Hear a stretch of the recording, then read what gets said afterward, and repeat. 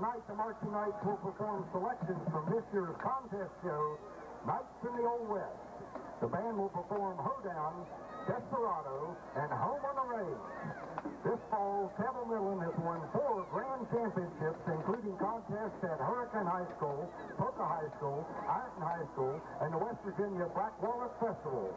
They have also won the award of distinction at Morehead State University contest.